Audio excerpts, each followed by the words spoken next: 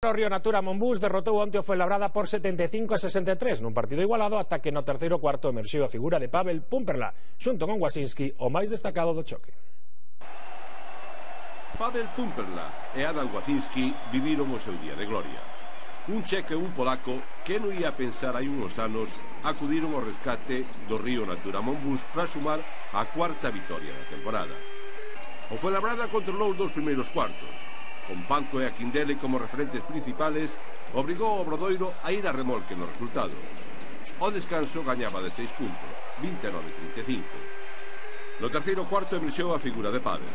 Estivo inmenso en todas as facetas do xogo. A súa defensa sobre Panco engadío un ataque demoledor. Acabou como máximo anotador con 17 puntos. Pavel meteu o equipo no partido. Volteou o resultado para entrar no último cuarto 5 arriba, 51-46. Aí tomou o relevo Wacinski. O polaco sumou 15 puntos e todos en momentos decisivos. Especial relevancia tivo esta tripla. Con Fuenlabrada a 4 puntos, anotou sobre a bocina a falta de 3 minutos e medio para o final. Foi a sentencia un choque vibrante que tivo o seu epílogo nun mate do héroe da noite. O nome de Pavel retumbou no xa.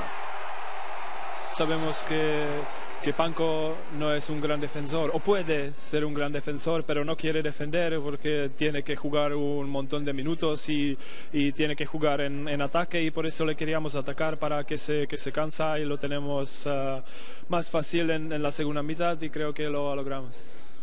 Temos o Río Natura Mambús en postos de playoff entre os oito primeiros despois de derrotar na casa o Fuenlabrada. Clave nese triunfo o partidazo de Pavel Pumpla.